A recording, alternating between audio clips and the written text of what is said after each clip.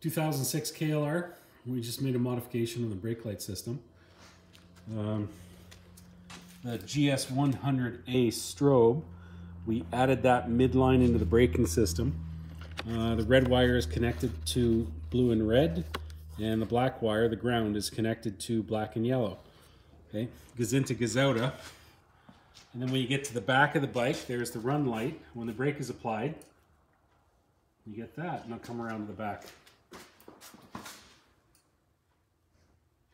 When the brake is held on, it goes to a full solid. So all you're doing is waking up the, the driver behind you to say, hey, something is about to happen and it might be us stopping. Pretty cool. Live from Tryon, owner and operator.